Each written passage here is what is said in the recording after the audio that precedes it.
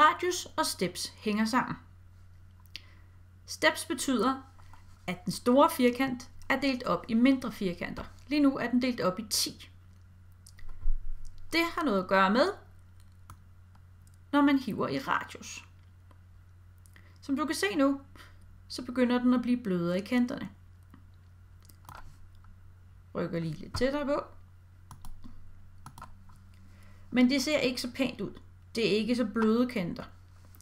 Det kan vi ændre ved at hive i steps. På den måde kan vi selv vælge, hvor bløde former vi gerne vil have. Og man kan selvfølgelig også klikke i den her. Nu vil jeg have 20, enter. Og jeg vil gerne have, at dens radius skal være på 10. Og som du nok kan se, så er den lige pludselig meget blød at se på.